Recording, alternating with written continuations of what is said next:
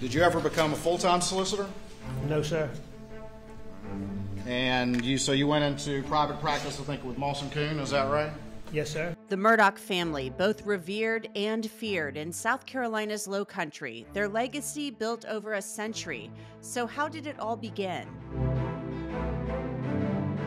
I'm Angenette Levy, and welcome to Law and Crime Sidebar Podcast. Three generations of the Murdaugh family served as solicitors of the 14th Judicial Circuit. That's basically the prosecutor or the district attorney for the area. It's possible Alex Murdaugh could have followed in the footsteps of his father, grandfather, and great grandfather, but it wasn't meant to be.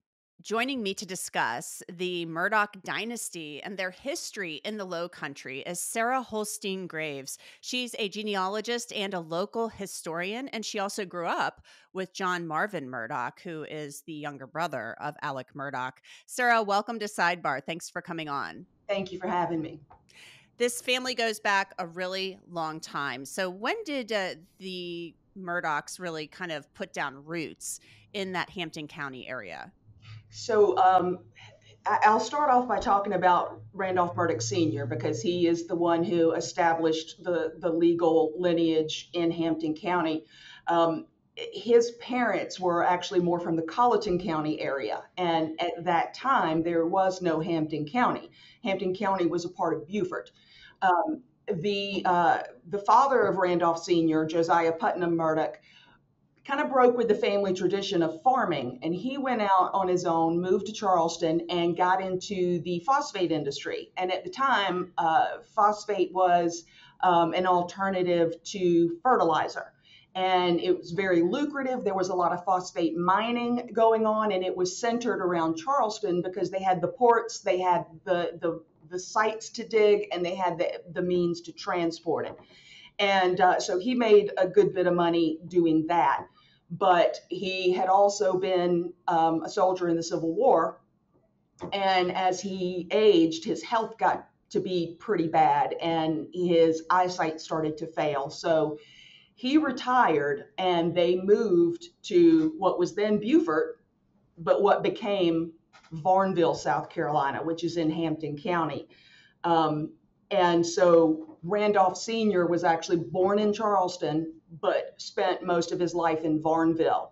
He was um, he was born in 1887, which is Hampton County was formed in 1878, so very close after that. And he was the youngest of seven children. So of all of them, he truly did grow up in Varnville. Um, his dad dabbled in a few businesses around there. His brother um, owned a store on Main Street, Varnville, that was very successful for a very long time. But uh, Randolph Sr.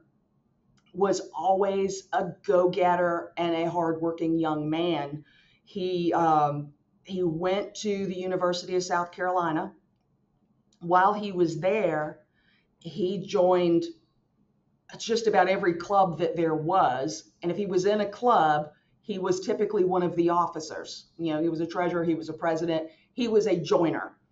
Um, he went to USC as a track athlete. He was uh, described by many of the athletic directors there as the single most utilitarian athlete that they had. Very committed, very hardworking, very fast. Um, and so he, he spent his time at USC, loved it there. But in 1906, he got the opportunity to compete for a slot as a midshipman at the U.S. Naval Academy in Annapolis. And he won that slot. So he spent a semester there. He returned to USC, continued on with the track team. His event was the 100 yard dash, which he could do in under 11 seconds. That's um, fast. Yes. He also did the 220 yard dash, the running high jump, jump, the hurdles. But the, the one of the things I found interesting was, um, you know, the University of South Carolina had a, a football team, but football was not as big a deal back in that time. And their board of trustees in 1906 decided to discontinue the program. And the reason was because Clemson and Carolina had played their first game, and there were fights and there was, you know, all kinds of terrible conduct. You know, that's our big rivalry in the state, and that's when it started. So the, the Board of Trustees decided to do away with the football program uh, because the faculty had been complaining about the coarseness of the chants at the games and the ungentlemanly conduct. So they, they didn't have football for a, a couple of seasons, but then the student athletes joined together and they petitioned the Board of Trustees during Fair Week and uh, nobody expected they were going to be successful, but they petitioned them to please let them have the football program back, and surprisingly, they agreed. So they had an impromptu parade right there in the middle of Fair Week, and now we have football at USC again. Problem is, we had no football players. So they took people, you know, Randolph was one of the people that, that got it started again. So he said, I'll play. So, you know, 145 pounds of him. The average weight on the football team was about 150 pounds that year. Um, but they played, and they only played three games, but they won all three, and they were only scored on four times. Um, college, Charleston College scored on them, but they still beat them 14 to 4. Um, they beat Georgia four to nothing, and they beat the Citadel 12 to nothing. And they were coached by um, Christie Benet, who was a USC educated attorney at the time, but had played football at USC before. And um, he couldn't coach him in 1908 because he'd been elected as the Fifth Circuit solicitor. So he had a connection to a solicitor very early on. Yeah, sounds like it. So, is that how he got interested in the law? I would imagine so, um, because he spent a lot of time with him, and you know, the he, he was the for, of the Fifth Circuit was right there in Columbia, so he would have seen him quite a bit. Um, he also one of the other guys on his team was Robert Gonzales, whose uncles started the state newspaper and, and Robert was a reporter at the state newspaper for a while. Sara, the power of the Murdaugh family came up in the trial this week. Mark Ball, uh, the former law partner and longtime friend of Alex Murdaugh, was asked about that on the stand. So let's listen to what Mark Ball had to say about the power of the Murdaugh family. This law firm's been in existence how long? 1910. 1910. Was. We, And- we're no longer. I'm sorry? We're no longer. We're now It was. longer It was until he came along, right? Until all this happened, right? until September of 2021. September of 2021. And was a, a relative of Alex, his great grandfather was part of that initial law firm, is that right? His great grandfather was the beginning of that law firm. And was he also the solicitor for the 14th Circuit for this area of the state? He was from, I believe, 1920 until 1940 when he was killed in a train accident. And then did the defendant's grandfather become solicitor? Buster started. The chief prosecutor for this area? Buster took over in 1940 and was the solicitor until 1946. And then Randolph was appointed by the governor and then was until he was 72. And his father became solicitor, is what you just said, is that right? Randolph. Until about when? Randolph was 82 when he passed away, so 10 years ago maybe, around there. And Buster became, Buster left the solicitor's office in 86 when he became 72. At the end of 86, beginning of 87, I think Randolph took over, mm-hmm. and Buster became the assistant solicitor All right. And how long was Randolph solicitor? until about 10 years ago. So, Sara, he's saying this family is very powerful. It's going back, you know, a century uh, that this family came into power. So, uh, Randolph Sr. Uh, becomes the solicitor. How does that come about? So remember that back in his college days, he made a lot of very influential friends. Um, he made friends that would go on to to have senator positions, to have uh, business owner positions. So he knew a lot of powerful people. And he was also very, very motivated to be um, politically active, socially active. Um, when he graduated from law school, he had no wife, no children, but he was still appointed to the uh, to the school board. Uh, he um, he was in the National Guard. He was um, he, he just he he was as active as he could be in the community. So when he started his law practice, the, the county was still in its youth, and there were not a lot of attorneys.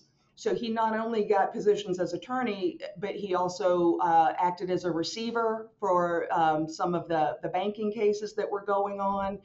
So when he graduated in 1910 and was admitted to the bar, he came back home to Hampton and he started his firm. Uh, he's never had a sign on the outside of the door. He just said, People know where I am. And to this day, there's no sign on the front door. And it's this big, it's, the, I mean, it's, this is the big firm. This is know. the big firm. Of course, it didn't look like that then. Right. Um, but he, um, so Hampton shared uh, a solicitor with Beaufort, and it, it was a very informal type of position. So around 1920, they decided to um, to assign a solicitor for the 14th Judicial Circuit, which was five counties. And he ran against uh, a gentleman named R.M. Jefferies, and he was from Colleton County, and, and he was a big name in Colleton County. And they actually did have to have a runoff, but he he came out victorious. And I think every time he ran after that, he ran unopposed. Um, and it wasn't because of great fear or you know it, it, was just that he was doing a great job and people really liked him and so, uh, so was he considered somebody not to interrupt you but was he, he you're saying people liked him they weren't afraid of him. I mean was there any hint back then that anything no. was amiss? Um, or was this just somebody who was you know respected in the community? This was a man who was very respected. He put his money where his mouth is. I'll give you an example. Again we were a young county at that time and there were a, a lot of things that were happening were very grassroots. Uh, we know that there's a road that connects Hampton to Crockettville now, which is where the, the Stephen Smith incident happened. But back in, in his day, there wasn't a road there. And the community was approached about ways to fund this. And he was one of, four local citizens who said, the first thing you need is clay, and it costs this much money. Um, we'll pay for it. And, and they paid for it to better the community because we had a railroad out there at the time and the transportation was very needed. So when things like that would happen, he would step up and he would contribute. Um, he would serve on any committee or any board that was making improvements to the area. And he really went out of his way to make it a, a better place. so a pillar in the community Absolutely. uh, highly regarded well respected then he's he's killed uh, he dies on train tracks tell us about that you know, of course, there's rumors, and I typically do not speak about rumors, but there's been enough. Uh, there's been enough evidence that that something you know may it have sounds happened fishy Right. So the story that I was always told was that he was visiting friends. It was late at night. His car stalled on the train track, and he was hit by a train. But I've also always heard the rumor that he was ill and he knew that he was ill.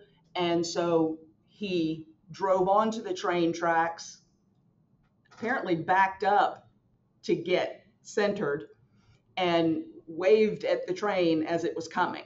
so maybe he died by died by suicide knowing he was terminally ill And the only reason that I would even repeat that, because again, I, I don't deal in rumors. right However, in my research, I have found, you know, he was 53 years old, uh, still a young man. I have found a couple of hospitalizations that happened within the year. And um, they were attributed to a kidney issue or a stomach issue, but he had been hospitalized a couple of times that year. So the rumors that he may have had a serious illness are not completely unfounded. Yeah, so it sounds like maybe he had cancer or something, and back then, I have heard it was stomach cancer, but Yeah. that- that's again that's a rumor. Um, but but I do see enough evidence to support that. okay. Well, let's fast forward now to Buster Randolph Buster Murdaugh, who took over the solicitor's seat eventually. He retired in 1986, and uh, he actually got into a little bit of trouble, right? He did, he did. He uh, he was arrested uh, along with um, many other people in a bootlegging scandal over in Colleton County. Uh, the allegations were that when he knew a raid was coming, he would inform them so they could move their stills, and he would be paid in in liquor or moonshine.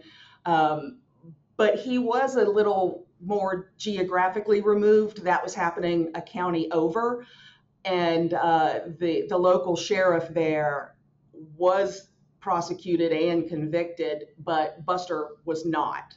Hmm. Interesting. So, is this where we see maybe we go from Randolph Senior, the upstanding pillar of the community, then then Buster gets into the seat, and maybe there's some some stuff going on. Um, you know, Buster, and again, I can only speak from what I know personally. I, I've heard so many rumors that people were afraid of him and, and all that, but I've talked to so many people over my lifetime, and then in the last year or so, being hyper focused on researching this, I've spoken with even more people and, and older people in the community that would have very firsthand knowledge. And I have honestly been unable to find anybody who has ever felt legitimately threatened by him or that could even tell a story of well my brother was threatened by him or something of that nature i've, I've never seen or heard anything personally that le- lends any credence to that So, Sara, Buster's mother had some pretty good political connections. She did. Um, his mother's name was Etta Causey Harvey. Her father was the local doctor in Hampton, and uh, her brother was uh, Brantley Harvey. Brantley Harvey went on to become a senator, and his son was uh, Lieutenant Governor Brantley Harvey. So, so Senior and Buster have always had that connection as well. Unfortunately, when she delivered their second child, she developed sepsis and she died two weeks after, very young. And uh, the result of that is that Buster spent a lot of time with his father. So when his father was traveling the circuit and making day trips out of out of the circuit to go to court, Buster would usually go with him. Buster grew up in the courtroom, and uh, the the interesting thing for me too is, is it, with this notion that they've had this life of privilege is that uh, you know Buster graduated law school in 1938. We're looking at fresh out of the depression. His father lost everything he had in the depression. So when Buster was ready to go to college, he didn't have money to send him to college. But Buster had played football in high school and he was able to win a scholarship to USC. And he paid for his college by playing football. And that's where he earned the name Buster because he would bust through the offensive line. That's so interesting. Um, so how does how does uh, you know? Let's get to Randolph the Third now. Um, Randolph the Third, they call him handsome. We've heard that during the trial. How does he come into the solicitor's seat? Yeah, he when his when his oldest grandchild was born, they were trying to figure out grandparent names, and they asked him what he wanted to be called, and he said, "Well, nobody ever calls me handsome," and so it just kind of stuck, and then and then everybody called him handsome after that. Um, so so uh, you know, Buster grew up in the courtroom, and so he was he had been working with his father. He'd been working while his father was ill. All of these things. And, and Randolph kind of did the same thing. Um, there was uh, a little scuttlebutt in Beaufort uh, back in the 70s, I believe, where some of the local officials were, were charging Buster with uh, allegations of nepotism for hiring his son. And he said, Look, I would love to hire somebody else, but nobody wants this job. It doesn't pay very much. You deal with the most horrendous crime scenes, murders, rapes, abuse. It is a lot for somebody to carry. And and the pay is not good. So I've tried to get people to come here and work as an assistant solicitor, and nobody wants this job. So my son is willing to do it, and so my son helps me. But if you have any other candidates, please send them. I'd be glad to take a look at them. So it was very much presented as, as a job that people just didn't want. It was burdensome, it didn't pay well, it was hard, and you had to make a re- lot of really hard decisions. The thing that Buster and, and Mr. Randolph Handsome were both very good at, and I think you've heard uh, them say the same thing about Alex here, was they knew how to read people. And they were very good at assessing a first time criminal and kind of making a, a, a, quick determination as to that person's ability to be rehabbed. They knew when to give people a second chance. They knew when to come down hard on somebody. Um, and, and they were very good at that. I found them to be very fair. That's interesting uh, because we've heard in the in the courtroom uh, that uh, Mark Tinsley said he thought Alex was very good at reading people. So maybe this is something that was came down through the generations. So, you know, we've heard all of this stuff about how this family has covered up things, you know, uh, you're you're a historian, you're a genealogist, like you are there. You you've lived there. So, it, is this true like that they are doing all these nefarious things and covering things up and uh, what is your feeling on that? you know, the, when there's smoke, there's fire. So I, there's got to be something there. And I don't doubt that there have been little things um, here and there, or maybe some big things. I don't know. But, but I will say this. Um, I have heard far more stories of them. I, won't even say bending a law, but maybe trying to work around the legal system to help people more than to cover things up. Now, do that does that mean that you know there's a charge and they've made it go away? Oh, I'm sure. I'm sure that that happened. Um, but I also know of uh, a couple of situations where you know there were people that were in foreclosure and the only step left in the process was for them to get served. And there were legal means crafted to keep them from getting served until they could you know buy a little extra time to come up with the money they needed to prevent the foreclosure. Things like that are the stories that i'm hearing more than anything. I know that for me um, and my parents and my, my father's family was in that community for over a hundred years none of them had this fear. I, have never heard of, of any of that. Um, I hear a lot of rumors around town, but I hear rumors about everybody, and I hear some really outlandish rumors about people. Rumors do spread. Um, so I don't doubt that there's rumors about them as well as as other, you know, families in the community. But for me personally, I have not seen it and I have not had any conversations with any people who can tell me of an example of something that was done to be hurtful or out of revenge. I've only heard of things that have done to be helpful. You grew up with John Marvin. So yes. did you guys go to school together? I mean, tell me about that relationship. Uh, in in our area, um, it's definitely small, but there are a lot of smaller communities. So we all would go to the elementary schools based on where we lived, and then once we would you know come to high school, then we were all in the same school together. So John Marvin and I went to separate elementary schools, but then we finished school together. In addition to that, um, we both went to the, the Methodist Church, so we knew each other that way. Um, so yeah, I grew up with John Marvin. Um, I, I've been very open about saying I've never been a fan of Alex. Mhm. Alex and I were never friends.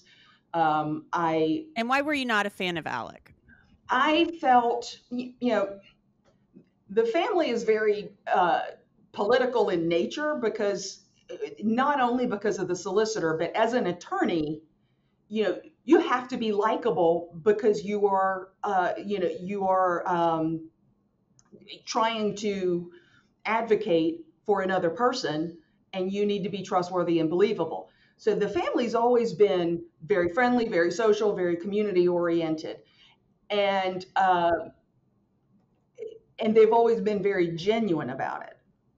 For me personally, I never felt like Alex was genuine about it. I felt like if it, he would be nice to me, but I also felt like uh, if I didn't have some benefit for him, then I wasn't somebody he was going to waste time talking to. He didn't have time for you. Yeah. Uh, interesting.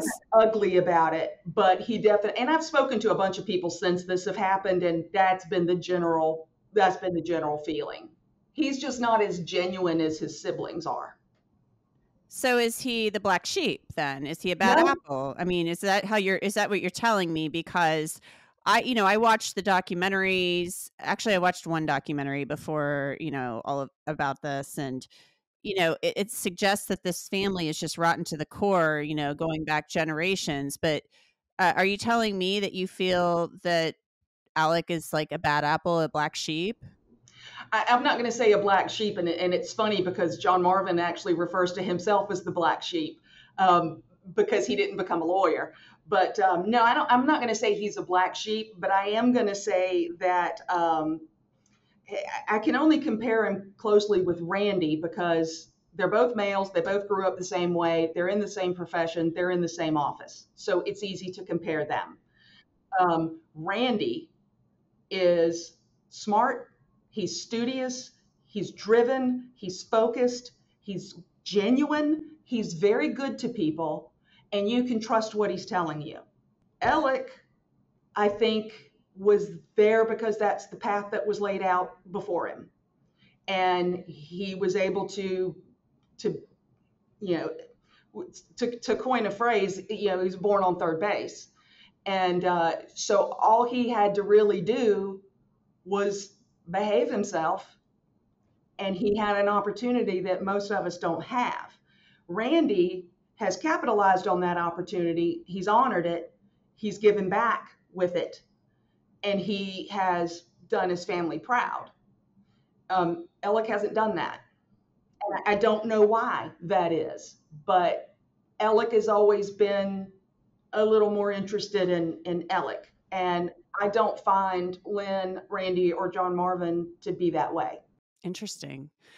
Uh, this has been fascinating, Sara. I'm so happy you came on and um, agreed to talk with us. I wish we had more time, but uh, we will have to wrap it up there. Uh, we hope you'll come back. Absolutely. I'll be glad to.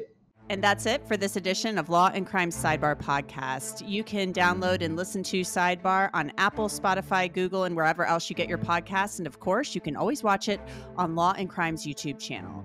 I'm Angenette Levy, and we will see you next time.